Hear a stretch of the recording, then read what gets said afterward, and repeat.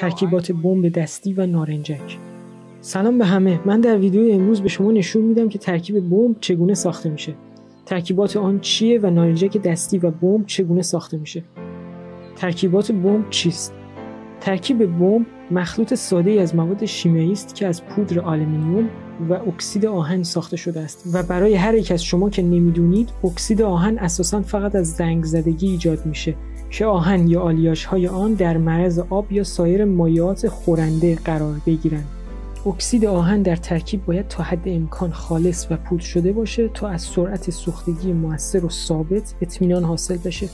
آلومینیوم مورد استفاده برای ترکیب باید پودر آلومینیوم مشبک بسیار ریز باشه. ما از پودر آلومینیوم خالص سی میکرون 99.5 درصد استفاده می‌کنیم. امروز ما از دستکش لاتکس، ماسک تنفسی و عینک ایمنی استفاده می‌کنیم. حال برای ترکیب این دو ماده شیمیایی از آنها به نسبت وزنی 3 به 8 استفاده می‌کنیم.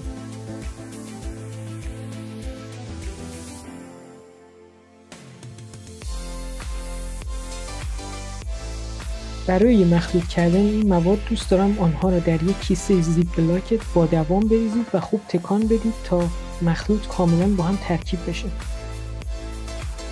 بسیار خوب. بنابراین ما ترکیب خود رو ساخته ایم و قبل از اینکه آن را آزمایش کنیم من فقط می‌خوام کمی در مورد ترکیب به شما بگم. این ترکیب در سال 1893 توسط یک شیمیدان آلمانی به نام هانس گلدشمیت اختراع شد و گاهی اوقات به عنوان واکنش یا فرایند گلدشمیت شناخته میشه. این چیز جدیدی نیست مدت زیادی است که وجود داره. واقعیت جالب در مورد تراماید اینه که این مواد داغ هستند. حرارت تراماید در هنگام مشتعل شدن می‌تونه تا 4000 درجه برسه که بیش از دو برابر گرمتر از گدازه مذابه بنابراین ایمنی تراماید بسیار مهمه آتش بسیار خوبی به شما بده اوه my finger. این کار رو تو خونه انجام ندید. مسئولیت این کار با خودتونه. پس مواظب باشید. اکلیل سرنج چیست؟ همونطور که در اینجا دیدید فقط مخلوطی از یک فلز و یک اکسید کننده است. اکسید کننده اکسید آهن و سوخت آلومینیومه و از طریق واکنش رودوکس انجام میشه. و اگر شما کلاس شیمی خودتون رو به خاطر بسپارید این یک واکنش اکسیداسیون کاهش رودوکس بود. و اگر خوب به خاطر ندارید در کلاس شیمی خوابیدید و شرمنده. خب من در کلاس شیمی نخوابیدم و یه عالم تراماید درست کردم. تا شما ببینید.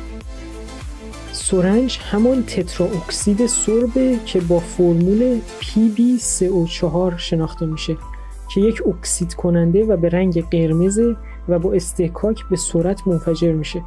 و اکلیل یک فلز مثل آلمینیوم که به صورت پودر در اومده.